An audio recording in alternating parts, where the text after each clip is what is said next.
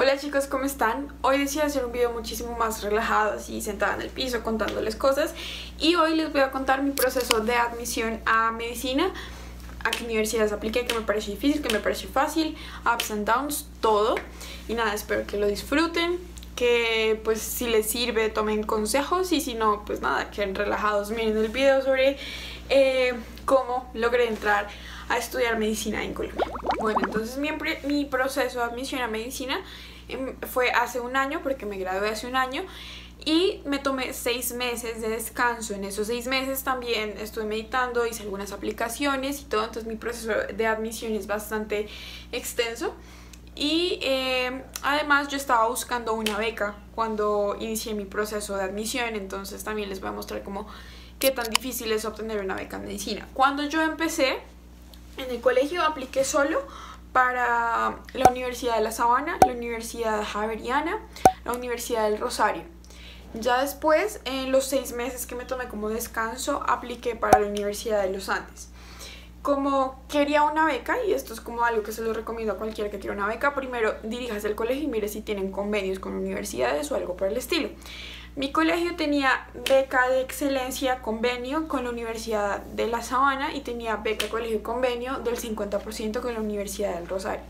Entonces, como que mi primer acercamiento al proceso de admisión fue con ellos. Me acerqué, les manifesté que quería y me pusieron en las listas de ambos procesos. Ya después, pues esperar y en realidad uno siente que para medicina lo único que necesitas es un buen puntaje en el ICFES y no es así.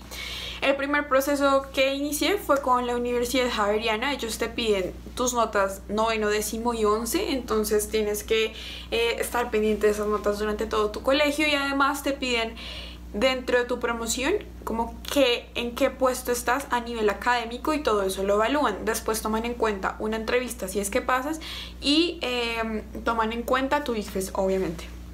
Entonces con ellos hice todo el papeleo de la universidad, obviamente súper emocionada, empecé a buscar como de todas las universidades que quería, no sé qué, entonces apliqué a Javeriana y después dije, pues por beca excelencia y demás, con la Universidad de La Sabana. Con ellos, entonces, el primer proceso es aplicar, pones datos básicos, qué tipo de convenio tienes con la universidad, si es que tienes alguno. Yo ya había estado como preinscrita por eh, mi acercamiento desde el, el colegio para la beca y lo primero que hacen es citarte para un examen de inglés. Entonces fui, presenté mi examen de inglés, el examen no es tan difícil, pero en realidad es bastante completo. Entonces la primera parte es de preguntas de gramática, después te piden hacer como mini ensayos y ya después te ponen a grabar como un audio hablando un poquito sobre ti y ya está, y tienes que esperar. Eso lo toman en cuenta tanto para la beca de excelencia, para pasar como el primer filtro, y... Eh, también es el primer filtro para entrar a medicina. Ya después, eh, con la Universidad del Rosario, nada más fue como acercarme y la verdad es que la beca que yo quería, muchas personas la querían, la, de colegio y convenio, porque estaban en busca de esa beca o la del IB, pero para los que estén en el IB, los del bachillerato internacional, saben que es mayor incertidumbre porque A, los resultados salen como dos meses dentro de la realización de cualquier semestre, entonces ya está un poco tarde para iniciar con el convenio y pues ya has pagado la matrícula, entonces yo quería desde antes pues tener asegurada la beca. Y nada, eso fue como al principio con los tres. Ya una vez hecha como ese primer paso en todas las universidades, eh, pues presentaste el ICFES, después esperas como un mes, obviamente yo estaba súper nerviosa, eh, no estaba como súper segura de cómo lo había hecho, bueno, muchísimas cosas, pero al final uno espera y ya. En las plataformas de cada universidad a la que aplicas, pues te sale al final como del ICFES si pasas o no al siguiente filtro o si definitivamente pasas, como es el caso de la Universidad del Rosario, que simplemente presentas el ICFES y pues ingresas a la universidad. Entonces, bueno, presenté el IFES, bla, bla, bla, esperé y el primer correo que me llegó fue de la Universidad del Rosario. Yo estaba súper feliz, súper emocionada porque había aplicado a mi beca convenio. Y eh, ese proceso también fue muy emocionante porque obviamente concursé eh, dentro de mi colegio para obtener la beca.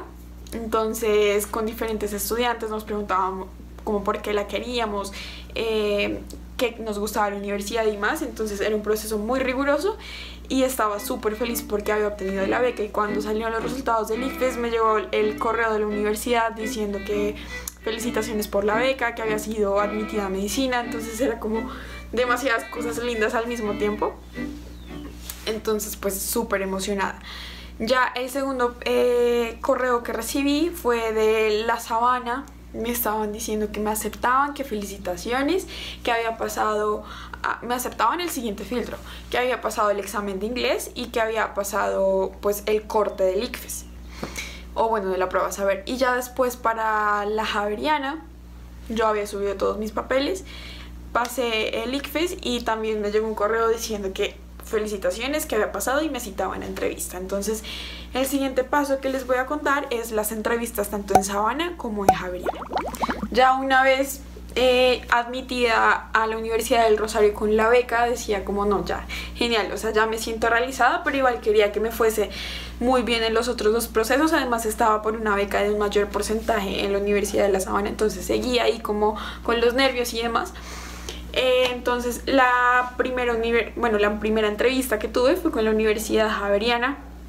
Llegué súper temprano al hospital de ellos, que sucede, em, y se siente así como un ambiente de competitividad, pero también como de nervios de todos. Es un ambiente bastante interesante y lo primero que hacen es dejarte como en una salita de espera, después eh, entras a un salón con el decano que te da unas palabras súper lindas de ánimo, de felicitaciones y después tú tienes que llevar como una foto a la, a la entrevista y les pasan a todas las personas unas hojas tienes que poner la foto.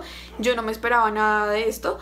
Tenías que responder dos preguntas. Una diciendo quién eras y otra eh, diciendo una experiencia que te haya cambiado o que haya sido muy importante en tu vida. Yo la verdad no tenía ni idea de que estaban haciendo esto como en estas entrevistas, entonces estaba muy nerviosa, no había preparado como esa parte de la entrevista de qué experiencia te ha marcado o la redacción, pero bueno, uno lo hace, te dan como cinco minutos y si no lo haces en cinco minutos, pues de malas. Bueno, después pasan de tres en tres a la entrevista con tres entrevistadores o dos, a mí me tocaron dos, un psiquiatra y otra doctora que también era profesora de la facultad bueno, en la entrevista, no sé qué, e interactué como con los otros que estaban en mi entrevista y ya, me fui. Después de la entrevista a la Javeriana tuve la de la Sabana, que la verdad son muchas personas, uno pues no sé, no lo espera, pero son como demasiados estudiantes y las entrevistas son muy cortas, uno siente que entra uno, sale el otro, así, o sea, súper, súper rápido, entonces como que eso te pone aún más nervioso.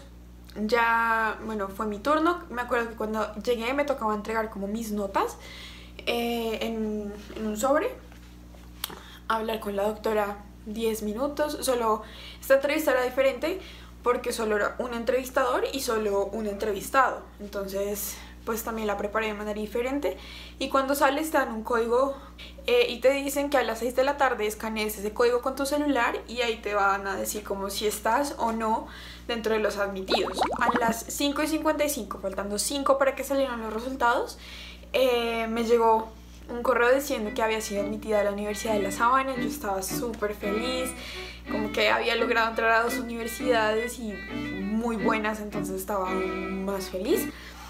Eh, y nada, entonces después faltaba pues la Javeriana. Entonces em, ellos te mandan como unos, unos valores entonces tú entras a la plataforma y te llega un correo y te dicen como qué pasaste. Entonces los valores son de tu resultado, de lo que les había dicho. Los documentos, el ICFES y la entrevista. Entonces ahí me decían qué, había pasado y me mostraron como el ponderado y donde yo estaba respecto al resto de los estudiantes. Y bueno, muy feliz, había pasado esas tres universidades y ya ese fue como el recorrido. Si algo les puedo decir es que estén tranquilos, que tampoco es tan grave, que se puede y que si llegan a fallar les voy a contar lo siguiente. Yo a los Andes en realidad me presenté en el colegio, pero me faltaron tres puntos de del ICFES para pasar. Ese año particularmente el corte estaba muy alto.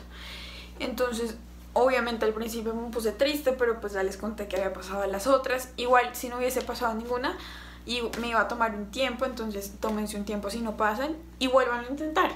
El siguiente semestre, cuando estaba tomándome pues mi tiempo, volví a aplicar a los Andes, esta vez bajaron el corte y pasé, entonces eh, pues también muy feliz, pero en este caso yo estaba viajando, o sea, pasé el primer corte que era el del ICFES, después seguí la entrevista. Como yo estaba viajando, pues no podía tomar la entrevista, entonces les escribí agradeciéndoles y demás. Igual no podía, eh, o sea, ya ni a las otras tres universidades había aplazado semestres, o sea, ya no iba a pasar. Pero como que por el orgullo, uno dice como quiero entrar. Y bueno, al final entré, o bueno, pasé ese primer filtro que era lo que no había podido hacer. Entonces, no duden en volverlo a intentar y no duden en esperar, no pasa nada. Yo siento que es como la mejor decisión que uno puede tomar y es esperar. Y tomarse su tiempo para ver si de verdad lo que uno decidió hacer es lo que es para su vida. Ya al final entonces tenía Javeriana, Sabana y Rosario.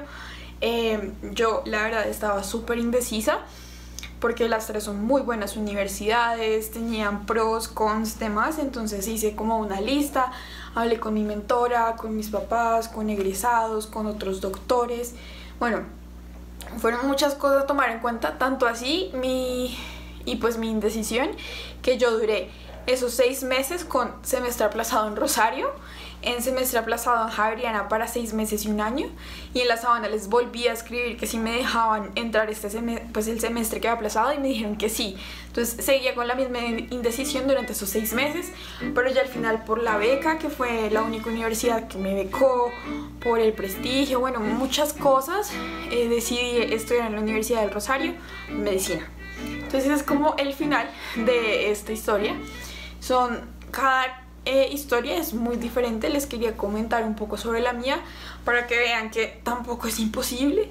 Y, nada, espero que les haya gustado. Muchísimas gracias por ver este video. Si te gustó, dale like, eh, suscríbete y ya. Muchas gracias por ver este video.